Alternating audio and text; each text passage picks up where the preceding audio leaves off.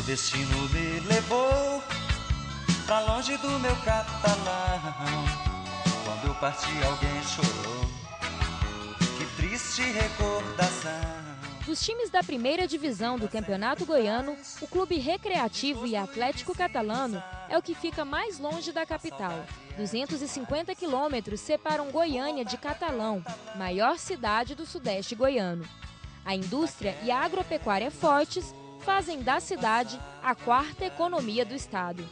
E é de toda essa riqueza que vem o apoio do campeão goiano de 2004. Todos os anos a gente monta uma grande equipe para disputa do Campeonato Goiano e 80% vem dos cofres públicos. A gente não fosse o dinheiro público da prefeitura, através do prefeito, dos seus vereadores que aprovaram o, o pedido, a gente não teria condição de tocar o futebol do craque profissional aqui em Catalão. Há seis anos, o craque tenta repetir o feito de ser campeão goiano. Para que em 2011 o título volte para Catalão, o clube aposta na experiência de quem já trouxe a taça para a cidade. Você sabe, título não é fácil de conquistar. É uma série de, de, de coisas que precisam acontecer, a gente vai trabalhar para que aconteça. Mas a, a, pretensão de qualquer treinador quando inicia um trabalho é justamente de sonhar alto e sonhar grande. A gente pensa assim, é, quando o Rai cai no lugar, pode cair novamente. Em 2004, o Rai caiu aqui e o craque foi campeão. E a gente espera esse ano que nós aconteça a mesma coisa, que o Vanderlei a gente novamente, que o Rai pode cair aqui em Catalão e a gente ser campeão goiano de 2011. Além do técnico Vanderlei Paiva, o craque conta com reforços como o volante Danilo Portugal, que já atuou pelo Goiás, e o meio-campo Pachola, ex-Itumbiara.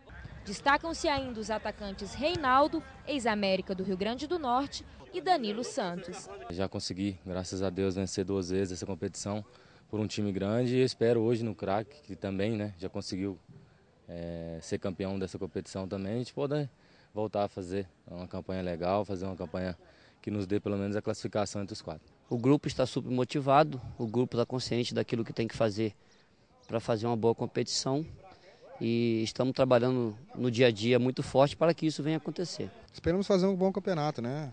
A nossa intenção é conseguir, é, primeiramente, é lógico, todo mundo vai estar lutando pelo título, né?